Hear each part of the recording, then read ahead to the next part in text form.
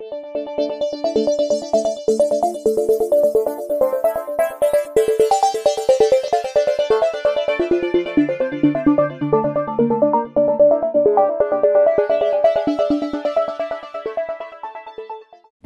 news Project Transit has been sneak peek the upgraded Watger I Street.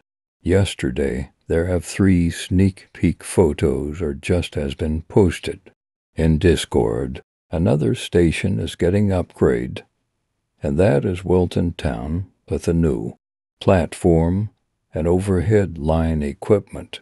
This could mean that will be updated in the next week or weeks. The last sneak peek is University Road getting an upgrade. It looks good and better than before, and they added buildings. That's all the news, and thank you guys for watching, and I'll see you in the next video. Goodbye.